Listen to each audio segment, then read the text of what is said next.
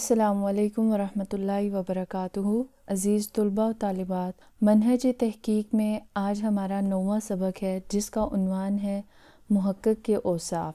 गुज्त सबक में हम लोगों ने हसूल इल्म के मुआवन ज़राए, यानी इंटरव्यू और सर्वे पर बात की थी कि हम चूँकि हसूल इल्म के ज़राए से मुतल पढ़ रहे थे, जिसमें हमने मुख्तलिफ़ चीज़ों का जायज़ा लिया था और आखिरी जो हमारा सबक था, उसमें इंटरव्यू और सर्वे पर बात हुई थी कि हम मवाद को हासिल करने के लिए एक जो ज़रिया है, वो अवामी ज़रिया है और आवाम से हम किस तरह से मवाद इकट्ठा करेंगे तो वो दो तरीके थे, एक इंटरव्यू के ज़रिए से और दूसरा सर्वे के ज़रिए से। आज का हमारा उनवान है ओसाफ़ महक़ यानी महक़ के ओसाफ़ हम इस सबक में ये देखेंगे कि एक जो रिसर्चर है, तहकीक करने वाला है, उसके अंदर किन किन सिफ़ात का होना ज़रूरी है। महक़ के लिए सच्ची लगन इंतहाई ज़रूरी है। यानी जब वो कोई प्रोजेक्ट लेता है, कोई काम लेता है, कोई किसी भी फ़ील्ड में जब वो तहकीक करने लगता है तो उसके लिए ज़रूरी है कि उसमें सच्ची लगन पाई जाए। अगर उसके अंदर सच्ची लगन नहीं पाई जाती तो उसका नतीजा ये निकलेगा कि उसका काम कभी भी मुकम्मल नहीं होगा। वो हमेशा अधूरा रह जाएगा। मिसाल के तौर पर, अगर कोई ऐसा शख्स है जो किसी भी मैदान में तहकीक कर है, कभी तो वो काम करता है, कभी वो छोड़ देता है। फिर इसी तरह कभी उसका दिल चाहा थोड़ा सा किया, कभी दिल चाहा, छोड़ दिया। तो इसका नतीजा क्या निकलेगा कि उसका काम कभी भी मुकम्मल नहीं होगा। उसकी वजह क्या है? उसकी वजह यह है कि जब इंसान में सच्ची लगन नहीं होती, जब वो हकीकी तौर पर किसी चीज़ पर काम नहीं करना चाहता तो उस वक्त उसका नतीजा ये निकलता है कि अगर वो एक मौके पर कोई काम कर लेता है तो जब वो कुछ अरसे बाद, यानी फ़र्ज़ कर लें महीने बाद, साल बाद, या कुछ दिनों बाद जब वो काम करने बैठता है तो जो पहले वाला जज्बा है, या जो पहले वाली सोच होती है, या पहले वाला जो तरीक़ाकार है, वो इंसान के दिमाग से निकल जाता है। उसको समझ नहीं आती कि पहले मैं किस एंगल से काम कर रहा था और अब मुझे किस तरह से काम करना है। तो इसलिए ज़रूरी है कि इंसान में सच्ची लगन हो और वो मेहनत से उस काम को मुकम्मल करने की कोशिश करे। दूसरी जो महक़ की सिफत है, वो ये है कि उसको हसूल मवाद के जो ज़राए हैं, उनसे वाकफ़ियत हो। क्योंकि अगर एक महक़ है, उसको मालूम ही नहीं है कि मैंने अपने फ़ील्ड से मुतलिक अपने मौजू से मतलब डेटा कहाँ से इकट्ठा करना है। यानी फ़र्ज़ कर लें, अगर एक ऐसा महक़ है जो सीरत पर काम करना चाह रहा है, लेकिन अगर वो सीरत की मसादर कुतब से वाकिफ़ नहीं है, उसको ये नहीं मालूम कि कौन से मकतब फ़िक्र की कौन सी तफासिर हैं और मैं उनसे किस तरह से इस्ता कर सकता हूँ? या फिर ये कि ये तफासिर मुझे कहाँ मिलेंगी और क्या मैं इनका ऑनलाइन मुताला कर सकता हूँ या नहीं? अगर वो इन सारी बातों से वाकिफ़ नहीं है तो न सिर्फ़ उसका वक्त ज़ाया होगा, बल्कि वो तहकीक भी मैारी नहीं होगी।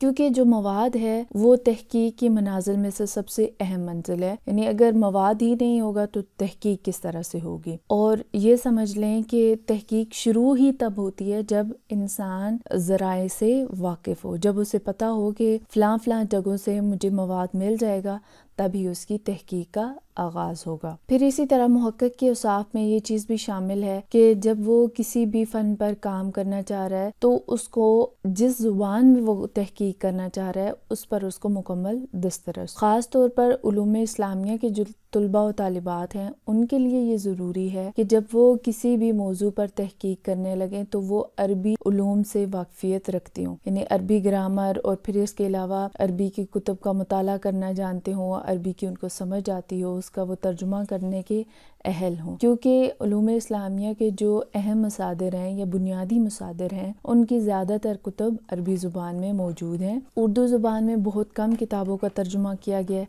तो इसलिए ज़रूरी है कि जो महक्क है, वो अरबी ज़ुबान पर मुकम्मल दस्तरस्त रखता हो। इसके अलावा उसको दीगर ज़ुबानों से भी आशनाई होनी चाहिए, जैसे अरबी, इंग्लिश, फ़ारसी, क्योंकि उसकी वजह यह है कि हमने डेटा सिर्फ़ किसी एक चीज़ से नहीं लेना। हमने न सिर्फ़ बुनियादी मसादर, बल्कि जो नई आने वाले आर्टिकल्स होते हैं, मकालाजात होते हैं, उनको भी लेकर आएँ ताकि अगर उस मौजू से मुतल कोई जदीद काला शाया हो चुका है या फिर कोई जदीद चीज़ मौजूद है तो उससे भी मुस्तफ़ हुआ जा सके। महक़ के उसाफ में से एक सिफत ये भी है कि वो हक गो हो, यानी सच बोलने वाला हो, और ये सच्चाई उसकी न सिर्फ़ तहरीरात में शामिल हो, बल्कि उसकी अमली ज़िंदगी में भी शामिल हो। क्योंकि अगर कोई एक ऐसा शख्स है जो इस बात से मशहूर है कि वो झूठ बोलने वाला है या फिर अक्सर चीज़ें झूठ पर उसकी मुश्तमिल हैं तो ज़ाहरी सी बात है कि जब उसकी कोई तहरीर सामने आएगी तो वहाँ पर इंसान को गालिब गुमान होगा कि हो सकता है इसने यहाँ पर भी झूठ शामिल किया होगा। तो इसलिए एक महक़ के तौर पर अगर देखा जाए तो इंसान के लिए ज़रूरी है कि वो सच बोलने वाला हो और जब वो तहकीक करे तो उसमें भी वो सच्चाई का ही साथ दे। जैसे कि हदीस मुबारक है कि जिसने छः चीज़ों की ज़मानत दे दी तो नबी करीम सल्लल्लाहु अलैहि वसल्लम ने फरमाया कि मैं उसे जन्नत की ज़मानत दूँगा और उनमें से एक चीज़ सच्चाई है, यानी सच बोलना है। महक़ के उसाफ में एक चीज़ ये भी शामिल है कि वो गैर जानबदार या फिर गैर मुतासब हो।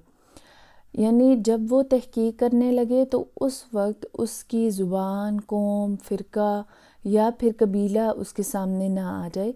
यानी ऐसा ना हो कि वो अप जब वो तहकीक करे तो वो जिस कौम से ताल्लुक़ रखता है तो उस कौम से मुतलका कोई ऐसी बात सामने आ जाए जो नामनासिब हो, या फिर वो जिस मज़हब से ताल्लुक़ रखता है, उस मज़हब से मुतल कोई ऐसी बात आए जो आम माशरे में मशहूर ना हो और उसको ज़ाहिर करना बेहतर ना लगे तो वो उसको छुपा ले।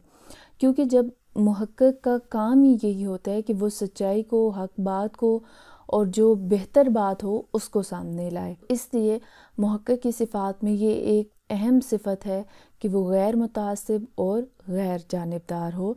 यानी इस चीज़ को ना लेके चले कि जो उससे मुतल हैं, वो उन वहाँ पर अच्छी मालूम सामने लाए और जो उसका मज़हब या फ़िरका नहीं है तो उसके मतलब वो जिस तरह की मालूम भी उसको मिलें, वो सामने ले आए। तो ये इंतहाई नामनासिब तरीका है। फिर इसी तरह महक़ के उसाफ में से एक सिफत ये भी है कि उसमें सब्र इस्तकामत हो, क्योंकि तहकीक का काम इंतहाई मुश्किल होता है, उसके लिए सब्र की इंतहाई ज़रूरत होती है, क्योंकि बाज़ात ऐसा होता है कि हम बहुत मेहनत कर लेते हैं, बहुत कोशिश कर लेते हैं, लेकिन जो हमारा टारगेट होता है, जो हमारा हदफ होता है, हम वहाँ तक नहीं पहुँच सकते।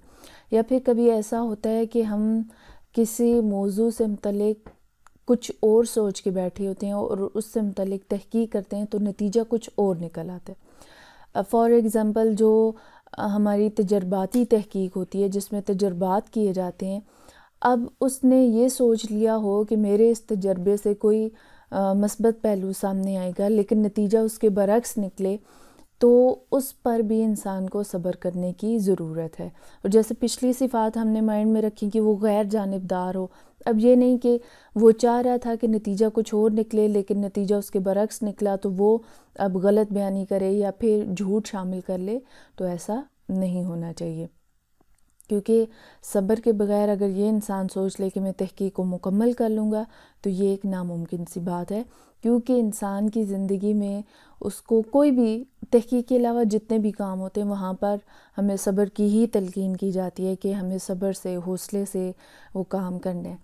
लेकिन तहकीक में ज़्यादा इसकी अहमियत इसलिए भी उजागर की जा रही है क्योंकि तहकीक एक मुश्किल काम है, जिसको मुकम्मल करना इंतहाई इंसान के लिए मुश्किल होता है और उसमें बहुत सी रुकावटें पेश आती हैं, बहुत सी मुश्किल का सामना करना पड़ता है।